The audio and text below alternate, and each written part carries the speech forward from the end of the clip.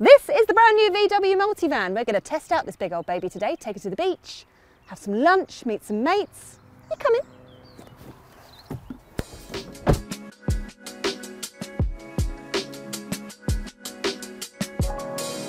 It might look a bit like your average workhorse, but this is no ordinary van.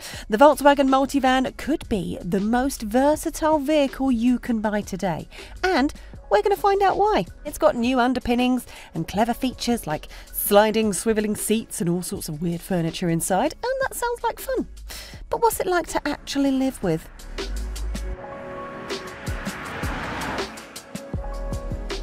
Not gonna lie, there's a part of me that feels a little bit like a soccer mom with all the seats in the back. Gotta get my kids to the game on time. Michael, quit hitting your sister. That kind of thing. That's how I feel while I'm driving this. So, yes, this feels quite vanny to drive, but it's not as kind of wallowy as other people carrier vans that I've driven before. You can get a plug-in hybrid version of this, but this version is kind of the everyman multivan. We've got a 1.5 litre turbocharged four pot. It's got 134 brake horsepower and it's fine.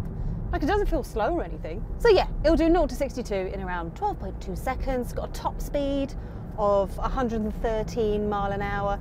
But this isn't the sort of car or the sort of vehicle or the sort of van that you particularly want to drive quickly. So when you do take it on an A road, I mean, we're only going 40 mile an hour, but eventually when we'll pick up speed, it does get a little bit noisy. That's probably because of the shape of the front. There's no streamlinedness to this vehicle at all. It's like it's headbutting the wind. So with this being such a big vehicle, and with it being a petrol, I expected it to be less efficient than this. I mean, VW are saying you'll get around 34 miles per gallon. Since I've been driving it, I've got 29.3 miles per gallon to be specific. 29.4, 29.4. But that's not horrendous. I was expecting it to be a Mercedes. 29.5, yes. So, all of that is jolly good, but what's the multivan like to spend time in? The setup here is so easy to follow. I mean, it's taken from a Golf. So the digital dials here is literally just like, this is how fast you're going. You are in drive. This is your miles per gallon. Done. Don't get me started on this. Me and VW have fallen out a few times over their uh, infotainment systems and their climate controls. I'm not a fan of touchy slideys. And you need twiddly things to twiddle on. But again, we've got wireless Apple CarPlay and stuff. That's fine. Oh, and this is like the most basic model you can get, by the way. So as you step up, this will become touch sensitive, uh, you can get like a panoramic sunroof and all that kind of stuff included. Actually, the auto box is pretty decent. It changes gear when I would want to change gear. Oh, I do have to mention the gear selector because it's quite weird. I got in the van and I went, oh, because I instantly wanted to reach for a manual, but there is no manual option for this. But instead, the gear selectors are here at the front. Oh, look at that, 30 miles per gallon. I am driving so efficiently. I'm having a lovely day. So this car replaces the VW Caravelle, which was van-based. Uh, this is now going to be the thing that goes forward, the multivan. Now it's based on the MQB platform, which kind of makes underpinnings for like the Cupra Formentor, VW Golf, etc. So, in theory, it should elevate this more than the Caravelle.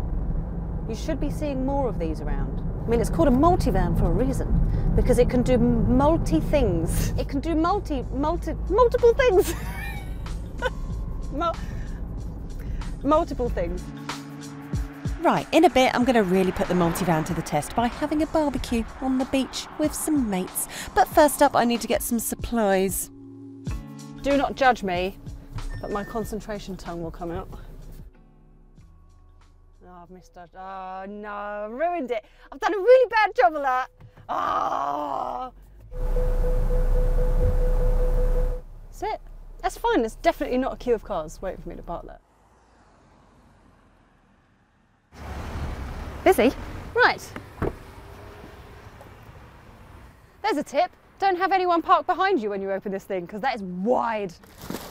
See, the thing is, it's like if I have more shopping, then I can move the seats. Shall I move some of them now? And I'll give you an idea. Look at that! Oh God, do my shopping? I'll show it properly when I get to the beach. That's fine. That's fine. Right, Let's go.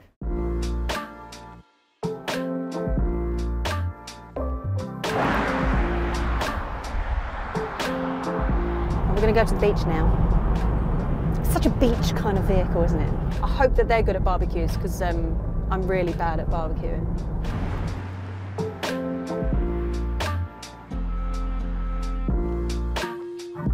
Do you fancy a tour? Come with me. I mean, obviously, it's the size of a van. The thing is absolutely blooming huge. I do wish that we had the two-tone version because I have seen some where it's like orange down here and then white on the top. I just think they look a little bit nicer. But I like the tinted windows as you come towards the back. And then this boot, I mean, it's huge. Let me move my shopping. If I show you these seats properly now, that's gonna fly away. I'll put that, that's fine. These should, oh look at that. What does this do? That does that. This one slide? That slides. Facts and figures. When you remove all of the seats, because you can actually take them out, you've got 3,672 litres of space. Or if you go for the longer wheelbase, then it's 4,005 litres, just in case you were wondering. Apparently we can turn these around and twist these around and all that sort of stuff. I might have to go around the side. Oh, hello, fancy seeing you here. So, in here, you have cubbies for days. Cubbies down here. Adorable little bin, like the smallest little cutest bin. Cubbies, cubbies, cubbies, cubbies. There's my Diet Coke in there. Don't need to see that. So much space for storage and things. And also the legroom in here is just incredible. As a passenger, I mean, you've got all of this space in here. So this thing is the table that kind of pops up and opens out, but I think because the tracks kind of go along the middle, I think this can move to the middle. Shall we find out? There's a button that says push, I'm gonna push it. Push. Push? Is that just a, oh? Right. So what I want to I want to know quickly just how you move this back and forwards. What's that? That's a, another cubby. How do you lift that? Push, push. Am I being an idiot? Push. Oh. Oh, actually, that's quite cool, isn't it? Right, so I'm going to save this and have this up for when everyone's around for the food. How do I put it back down again? Push, push. Oh. Ah. Ah. There's also a thing down here that says push. Press. What does that do then? Is that in case you drop something in it? I don't think that's a bin. No, no, no. They might drop it in there by accident though, so you can fetch it. I don't understand that at all. Right, I need to figure out how to turn these chairs around. Oh, higher spec models. All of these seats are heated, by the way, and you get like gesture opening sliding doors. We've got the base spec model, so it doesn't quite have all of the snazzy stuff. Here's a lever, let's pull it. That does that, okay. Let's get rid of them for a sec. Oh God. Red lever means I... went quite far back, didn't it? I think I need to pull them out that way and then they all come out that out the back rather than out of the side. Let's do that. Red one, they're, surely they're important. Red means important, doesn't it? That's a, another cubby. How do I get these things out? Right, right, come on now. Yes! Whoa. Get down now. I'm gonna do this, and then I'm gonna. we'll keep them for deck chairs. Yes! Oh. Okay. So then you can have this forward, and then we can have a nice little four-seat dinner thing going on here.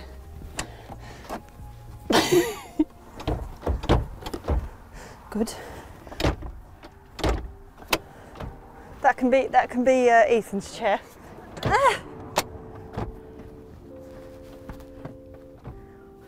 And through the magic of television, here it is completed. Ta-da! You have probably noticed that the, the seats that were facing backwards aren't there anymore. That's because I couldn't figure it out. So check checked the manual, went on VW website, and it says you can do it. It says you can turn the seats around and have them set up so that you can have four people facing each other. But I'm wondering if it just doesn't work in this one. Because we've noticed that the seat belts are here. So then you won't be able to drive with the seats backwards because they won't be able to wear their seat belts. So maybe, maybe it's just not possible. So I've set up a romantic table for two, is what I've done. Lovely. Right, I'm going to get prepping. While I'm um, setting the table, it's worth mentioning that there are four handy USB ports in the back, and if you can actually figure out how everything works, it's actually a really clever space back there. You can use it for pretty much anything thanks to those nifty rails in the floor. Right, on with the barbecue.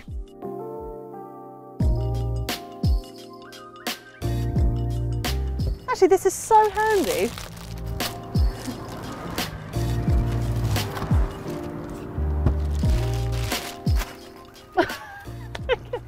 Throw it correctly. I don't know how to light a barbecue.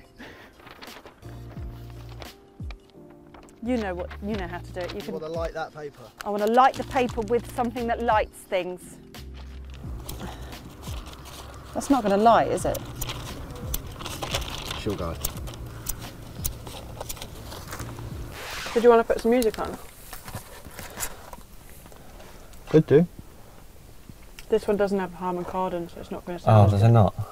What we've learned today is you have to step up through the specs to get the better version.